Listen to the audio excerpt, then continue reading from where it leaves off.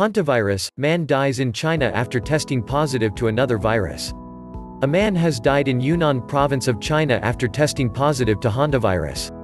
The man died while on his way back to Shandong province for work on a chartered bus, China's Global Times reports. Hantavirus immediately became a trend on social media following the report with people panicking that it was another COVID-19 ready to cause a new pandemic. Dot. However, unlike coronavirus, hantavirus is not airborne. Humans who contract the hantavirus usually come into contact with rodents that carry the virus. Quote. Rodent infestation in and around the home remains the primary risk for hantavirus exposure. Even healthy individuals are at risk for HPS infection if exposed to the virus.